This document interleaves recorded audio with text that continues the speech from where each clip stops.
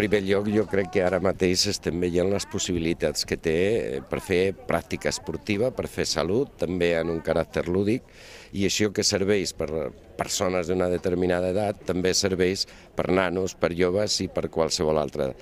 A través d'aquests grups de pràctica esportiva el que fem també és explicar-les que aquí tenen ja la segona estació perquè tenim una altra a la ciutat perquè poder fer aquesta, aquesta pràctica esportiva regular i que la poden fer doncs, eh, avui, per exemple, explicant a través d'una monitora totes les potencialitats, però també doncs, que ho poden fer a nivell individual. És una instal·lació que està oberta des de 6 del matí a 12 de la nit i poden passar en grups o a nivell individual també i utilitzar aquest eh, l'equipament.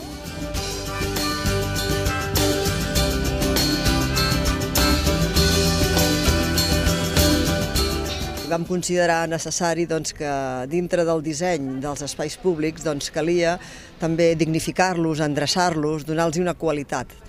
i aquest espai doncs, jo crec que contribueix en primer lloc en això. No, no solament eh, doncs, és un, un espai doncs, que està en el catàleg de la Diputació per a, per a servir-lo als ajuntaments, sinó que jo crec que és un element